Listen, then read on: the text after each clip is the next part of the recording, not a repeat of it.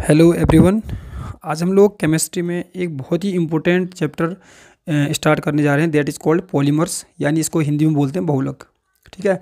अगर आप ने प्रीवियस ईयर के कोई भी क्वेश्चन पेपर उठा के देखे हैं, चाहे बीएससी लेवल के हों, चाहे ट्वेल्थ लेवल के हों, या चाहे कहीं भी कम्पिटेटिव एग्जामिनेशन के जो भी पेपर हों तो आपने नोटिस किया होगा कि पॉलीमर से एक या दो क्वेश्चन हमेशा ही देखने को मिलते हैं। ठीक है? ये जो पॉलीमर चैप्टर है, ऐसा नहीं है कि इसको कैसे केमिस्ट्री वाले ही पढ़ते हैं इसको जो भी किसी कम्पिटेटिव एग्ज़ाम की प्रिपेयर कर रहा है, वहाँ पर से, वहाँ पर जो साइंस आती है जनरल साइंस वहाँ पर वहाँ पर इस पॉलीमर से आपको एक या दो क्वेश्चन हमेशा देखने को मिलते हैं। तो ये चैप्टर जो है सभी के लिए इंपॉर्टेंट है, ठीक है? तो बहुत ही इंपॉर्टेंट चीज़ में बताई जाएगी क्योंकि इस पॉलीमर चैप्टर में हमारे जो डेली लाइफ में यूज़ होते हैं, जो पॉलीमर्स यूज़ होते हैं, हमारे घर में यूज़ होते हैं, ठीक है? उससे रिलेटेड ही चैप्टर रहे तो आपको इजीली समझ में भी आ जाएगा और कुछ चीज़ ऐसी है जो आपको याद भी करनी पड़ेगी, ठीक है? तो स्टार्ट करते हैं पॉलीमर्स तो जैसा कि पॉलीमर से नाम से पता चल रहा है कि जो पॉलीमर है ना, देखो पॉलीमर जो है पॉली का मतलब होता है मैनी। पॉली का मतलब क्या होता है? मैनी। ठीक है? पॉली का मतलब और मर का मतलब होता है पार्ट पार्ट या इसको बोलते हैं यूनिट ठीक है?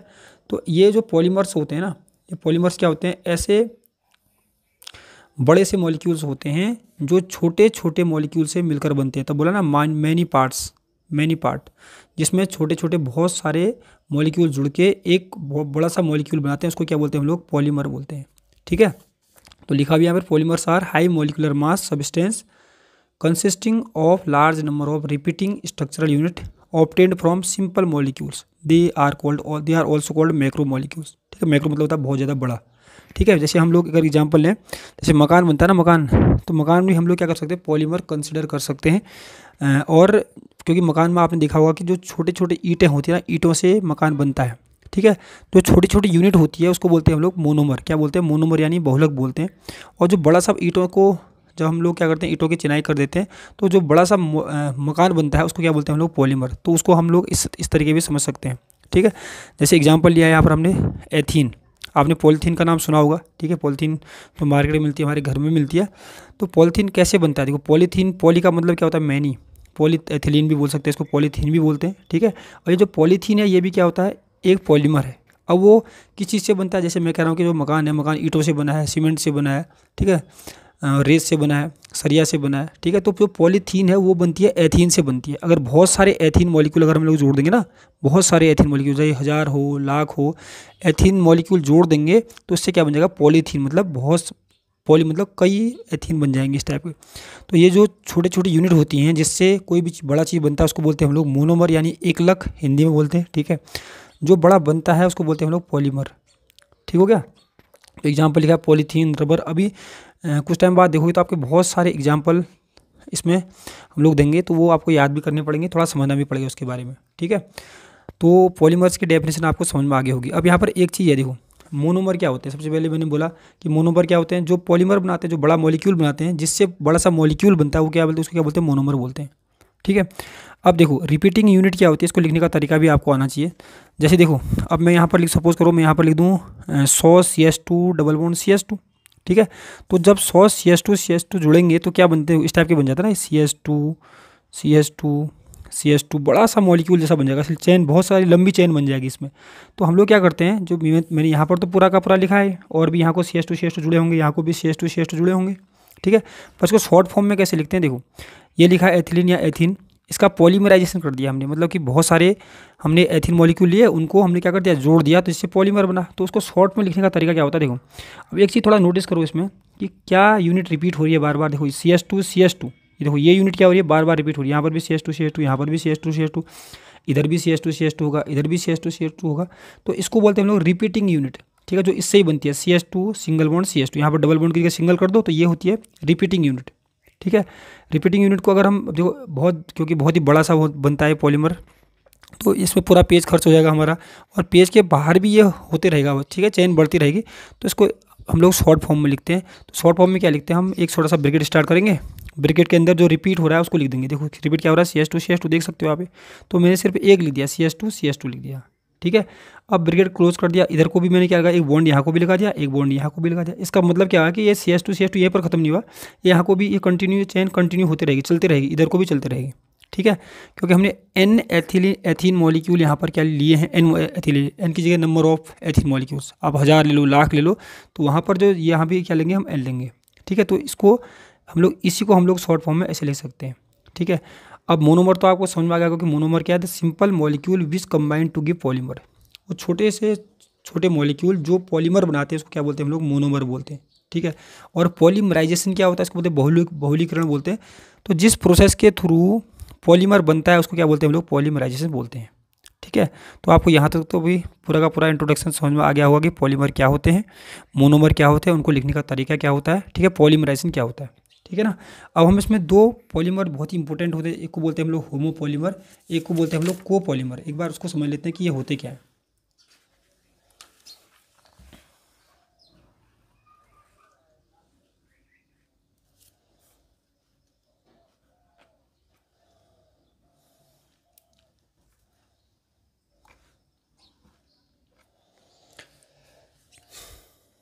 तो ये देखो, सबसे पहले इसमें क्या होता है, एक एक होता है होमो पॉलीमर एक होता है कोपोलीमर अब होमो का मतलब क्या होता है? सेम एक जैसे, ठीक है? अब मतलब देखो पॉलीमर किसी से बनता है? आपको मैंने बताया पॉलीमर किससे बनता है? छोटे छोटे मोनोमर से बनता है। छोटे छोटे जो मॉलिक्यूल्स होते हैं मतलब मोनोमर से क्या बनता है? पॉलीमर बनता है। अगर मोनोमर एक ही जैसे हों, एक ही जैसे हों तो जो पॉलीमर बनता है, उसको बोलते हैं होमो पॉली मतलब सेम पॉलीमर होमो मतलब समान होता है, ठीक है? अगर हम कह सकते हैं कि जो मोनोमर हम लोग ले रहे हैं पॉलीमर बनाने के लिए, उस अगर वो एक ही जैसे होंगे सपोज़ करो मैंने दस C S two C S two लिख दिया या सौ C S two C S two लिख दिया, पर सौ के सौ एक ही जैसे तो हैं, ठीक है? तो अगर मोनोमर एक ही जैसे हो तो जो पॉलीमर बनता है उसको बोलते हैं हम लोग होमो पॉलीमर जैसे पॉलीथीन में आपने देखा तो हमने क्या लिया? एथिलीन ले लिया। तो इसी टाइप के बहुत सारे मॉलिक्यूल जुड़ के क्या बनाते हैं?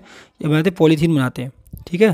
तो लिखा ना polymer formed from one type of monomer सिर्फ़ एक ही टाइप के मोनोमर होंगे तो जो पॉलीमर बनता है उसको बोलते हैं हम लोग होमो पॉलीमर ठीक है? इसके और भी एग्ज़ाम्पल है, जैसे पॉलीप्रोपाइलिन है पीवीसी है पॉलीविनाइल क्लोराइड है, ठीक है?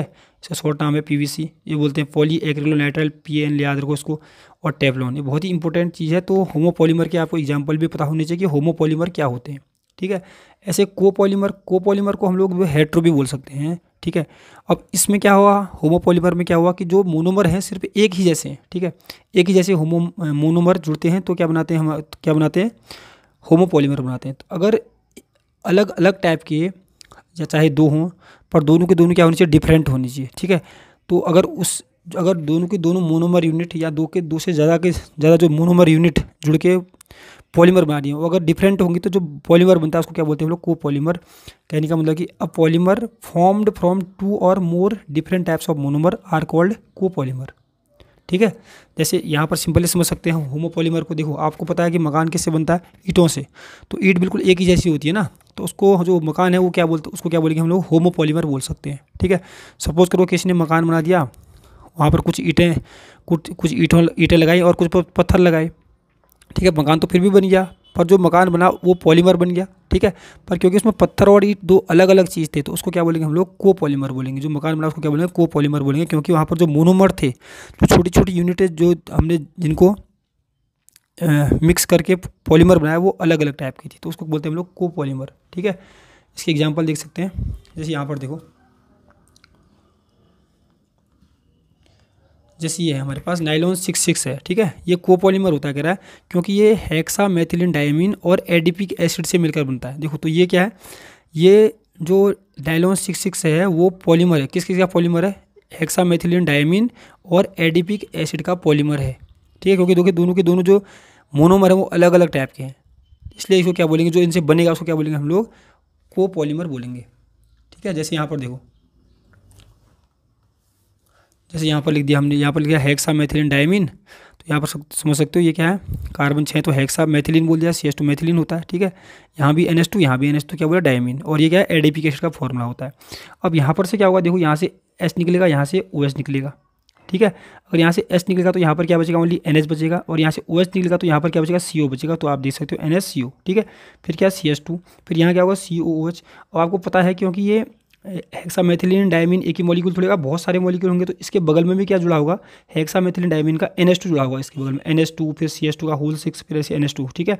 तो फिर वहाँ से जो एन एस होगा, वहाँ से एस निकलेगा, यहाँ से ओएस निकलेगा तो फिर से यहाँ पर क्या बच जाएगा सी ओ बच जाएगा, ठीक है? और सेम यहाँ पर टू के बगल में क्या होगा?